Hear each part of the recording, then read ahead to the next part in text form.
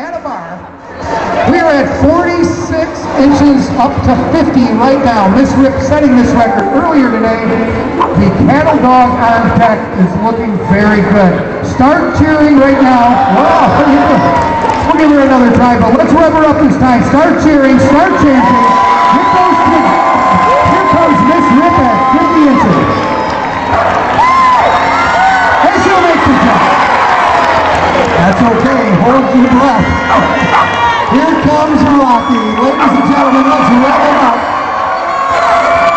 And Rocky flies over the bar. And a bar going up. We'll ask the sound technician in the back of our sound box. There are two cups. Oh, you're not there. What? Okay, 54 inch attempt for Miss Rip. Miss Rip has made this jump only once in her career. Second try. Ladies and gentlemen, give Miss Rip a big round of applause, but don't leave the stage. These guys are tied right now at 50 inches high. I have the infamous cups for you, my dear. Here comes Rocky, 54 inches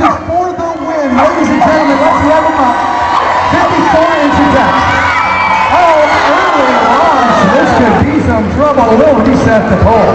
Now remember, these two dogs are tied right now. If Rocky makes this jump, we have a very special surprise for you.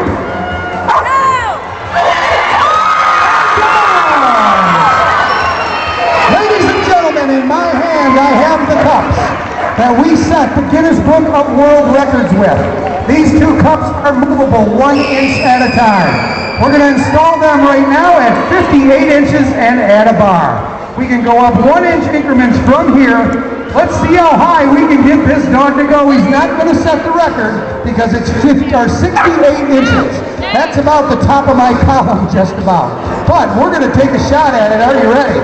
Here comes Rocky. Ladies and gentlemen, start cheering, start chanting, 58 inches. Oh my! Let's go up one inch. Want to go a couple inches at a time? It's up to you. As I am. What is that? What number? This is now uh, 60 inches. 60 inch attempt. Here we go. Ladies and gentlemen, let's rev them up. Here we go. 60 inches right here. That's all right. Another try. I'm sorry, not 60 inches. Yes, it is. It's 60 inches. Okay, we are at 60 inches and climbing. This will be the final jump. Rev them up.